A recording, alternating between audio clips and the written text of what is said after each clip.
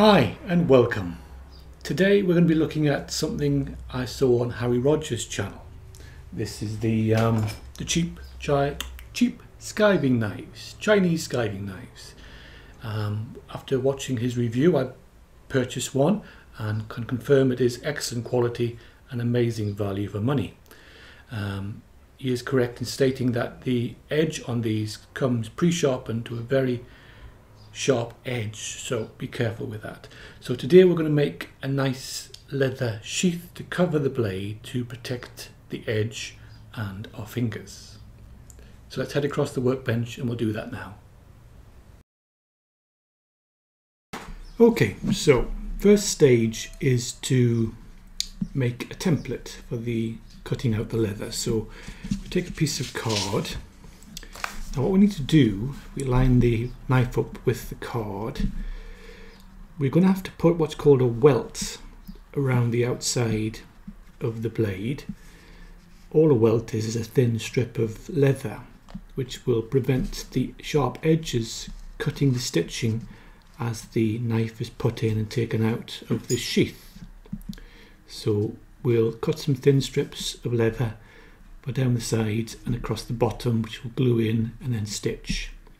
So if we position our knife on the card and then we get a rough idea of what sort of size welt we want, probably something as thin as that would do. So we draw around that and obviously there'll be a fold over there which will give us uh, a template. I'm going to put a little tab on mine which with a little press stud which will just fold over the corner and hold the sheath on. So I've already made a template which we look over here. As you can see just a piece of card. So when the blade is in I've left enough space for the welt to go around. And then when that's top section is stitched in place. I've created a small flap here which will put a press stud in there, a snap fastener which will fasten that down and prevent the knife from being pulled out of the sheath. So next stage is to cut out the template, sorry the leather. Um, now I've been making some of these recently, these are just nice little leather pouches and I've got a surplus of this nice soft upholstery leather which is perfectly adequate for this application. You could use veg tan, that's a bit more work. It's got a nice colour, I just like it so I think it'd go well with the knife. So I'm going to use some of this stuff. So I've got lots of offcuts, plenty to make a small item like this. So all we're basically going to do is to take our template and to cut out from our piece of leather. I'm going to do it in two halves rather than fold it. I just think the stitching will make it a bit stronger. So I've already done that. And here are the pieces which we have. And I've created some little strips for the welts. So obviously this is the, the back and the knife blade will sit in there and these little offcuts just little slivers of leather will be glued in place one here one here and one here. So when it's all put together glued and stitched nicely that little flap will come over and button down on there. So next stage is the gluing. So we'll go across the gluing bench and we'll do that next. Okay so here we are ready to glue everything up. So I'm just going to use some standard contact adhesive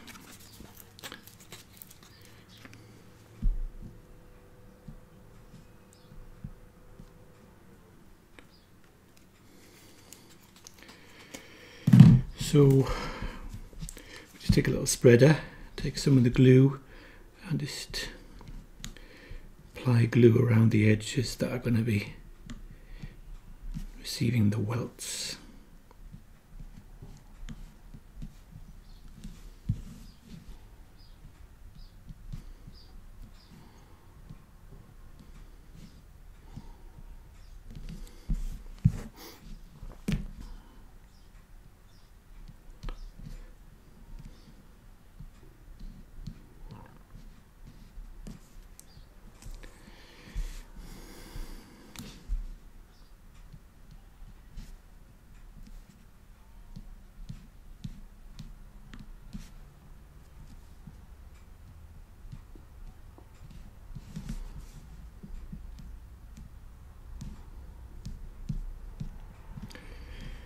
Some people prefer to use a brush, but I prefer a little little plastic spatula which I've ground the end to a slight angle of about 45 degrees and it gives you much more control over where you place the glue.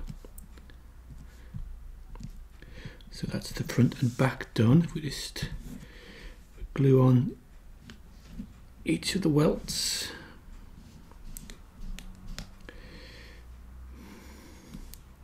Sticky. Right, and if we can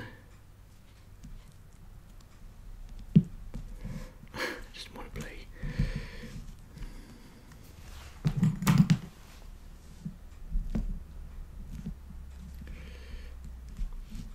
Get off. Right, I want to do the same. It's not my day, is it? Let's take those off. Do the same with the other small pieces. They're very fiddly. You need three hands for jobs like this.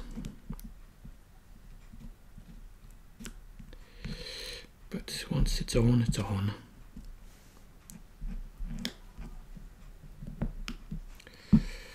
And the final piece.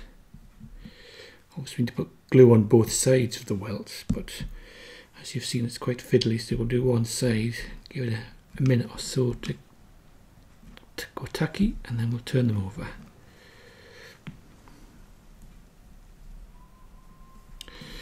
Okay, so we'll give those a few minutes. Okay, so the glue's gone off. I've done the other sides of the small strips because the glue was starting to go off in this heat. We're having an unusually hot summer in the UK, so not quite used to it. So put in the bottom piece and the side piece. Put that there. Let's try and keep things straight before the glue goes off. The final piece which goes here.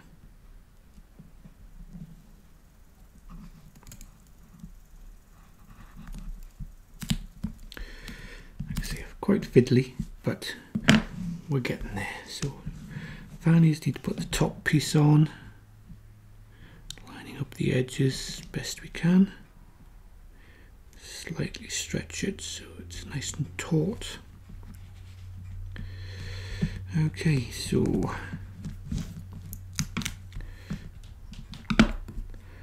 press those edges so they make good contact. And then let it dry before we stitch it. So that's the gluing done. Okay, so the little sleeve is now glued and the glue's basically set. Obviously it's difficult to line up these very small uh, welts so this is a good time to trim the edges nice and square before we stitch it. So we'll just quickly do that.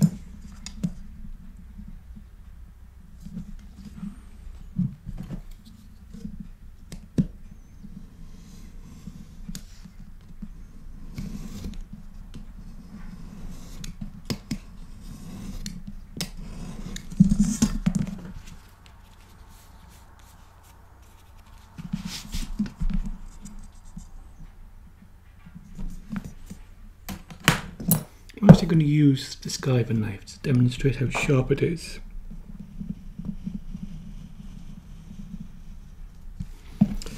That's a nice clean cut as you can see. So we'll do the same on this side, being careful not to cut off the little tongue obviously. In fact, as a precaution I shall work away from it.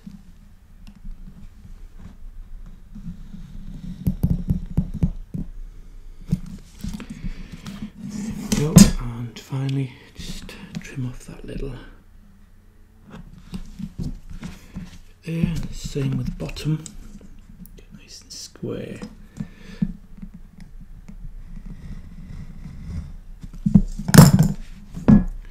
So there we have nice square edges all ready for the stitching process.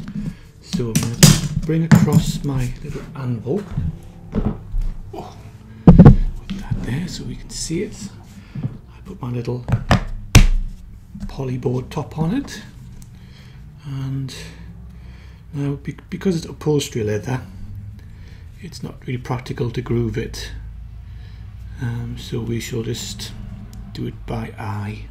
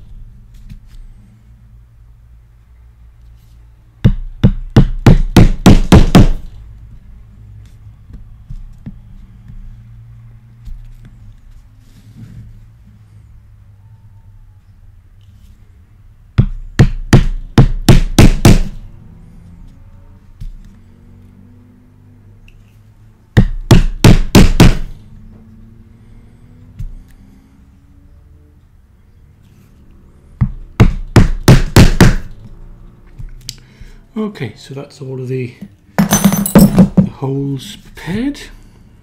Next stage is to sew it. So, unfortunately, my regular sewing pony is elsewhere at the moment, so I'm going to have to use my little bench vise.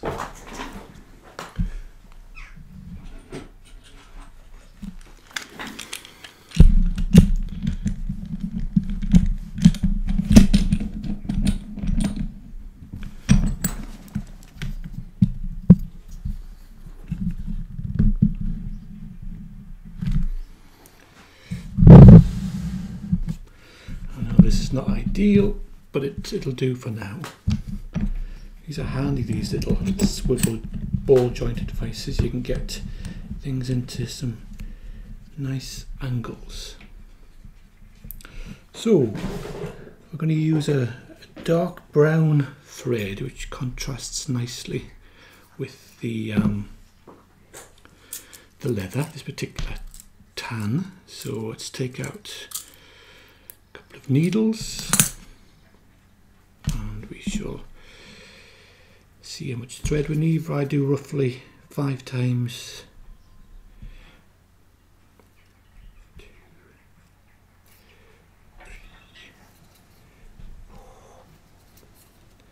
five but want to go around that twice so one two three four, five, and then it'll be the bottom piece.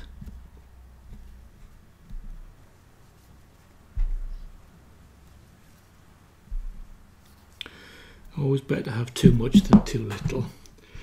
Nothing worse than running out of thread mid-stitch. So, let us have a look. We're going to be threading the needles.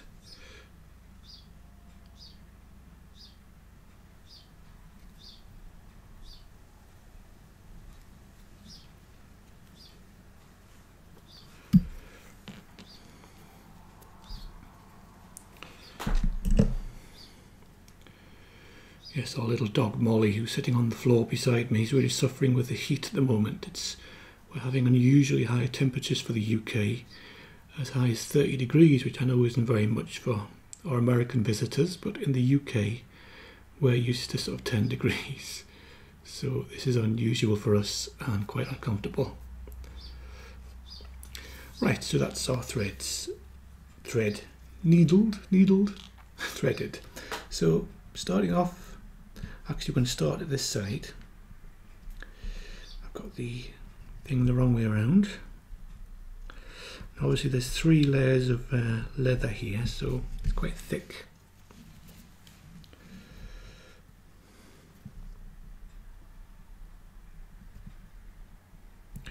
And of course being upholstery leather it's also quite um,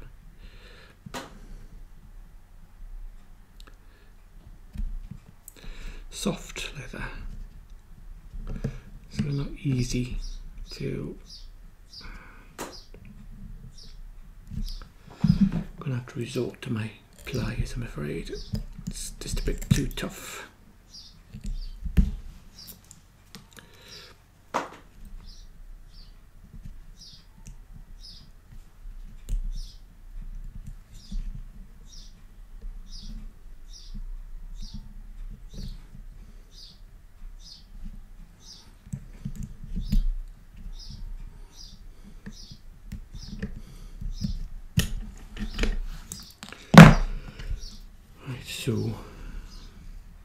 Familiar with cross stitches. I'll do one more and then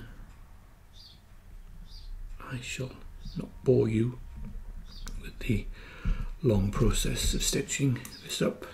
And we'll come back to it once the stitching is done. So I'm just going to continue around the outside of the little sleeve until it's complete. Okay, so that's the stitching done. As you can see, it looks quite nice. So the final task is just to put a little stud here to lock that in place. So we'll do that next.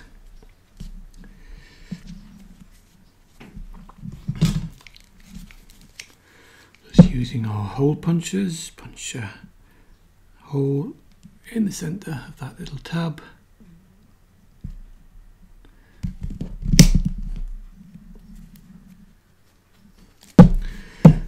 so,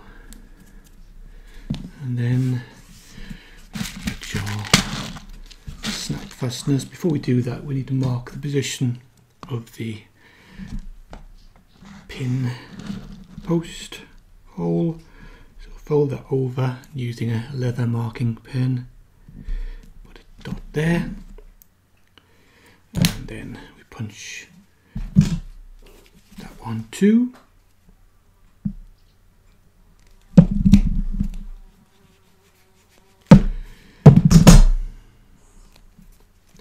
so let's do our assembly so we need the top and bottom set So we need our set of punches. So we'll do the top first. So bring that through.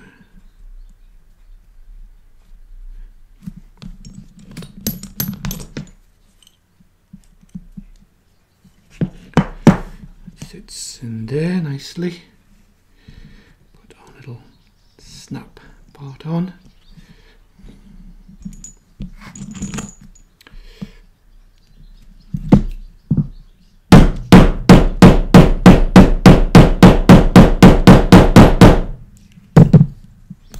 There we go. And then we do the same for the other section. Bring that through.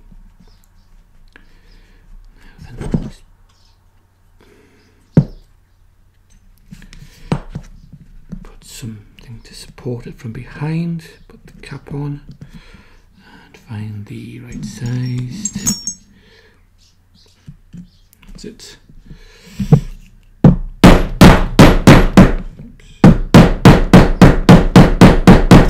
notice I'm doing a slight rocking motion there with a punch.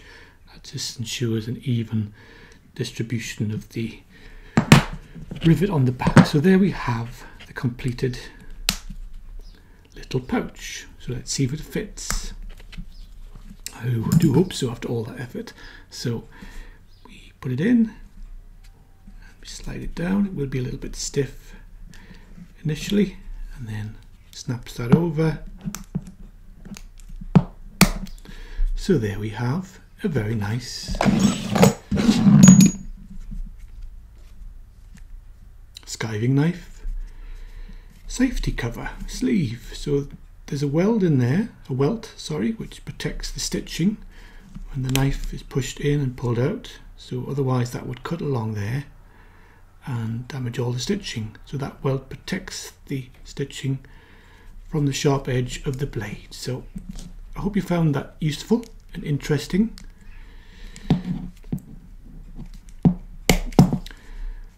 And there we have a nice simple little project for anybody who's purchased one of these wonderful and very sharp Chinese skiving knives. I hope you enjoyed that and we'll see you next time.